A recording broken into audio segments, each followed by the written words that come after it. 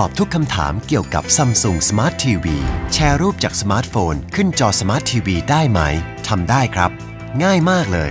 มาแชร์รูปสวยๆ ขึ้นไปโชว์บน Smart TV กันเถอะครับ ขั้นตอนแรกให้กดปุ่ม Source บน Smart Remote แล้วไปกดเลือก Screen Mirroring ที่อยู่บนจอ Smart TV เลือกคำสั่ง Setting ในสมาร์ทโฟน แล้วเลือก Screen Mirroring จากนั้นเลือกชื่อทีวีที่คุณต้องการเชื่อมต่อ เมื่อเชื่อมต่อกันเสร็จแล้ว ให้คุณเข้าไปเลือกรูปในสมาร์ทโฟนที่อยากแชร์ แค่นี้รูปสวยๆ ในสมาร์ทโฟน ก็ขึ้นไปโชว์บนสมาร์ททีวีแล้วครับ ชอบรูปไหนแชร์ขึ้นจอสมาร์ททีวีดูกันให้ชัดๆ เต็มจอกันไปเลยครับ Samsung Smart TV ลองใช้ดูแล้วจะรู้ว่าง่าย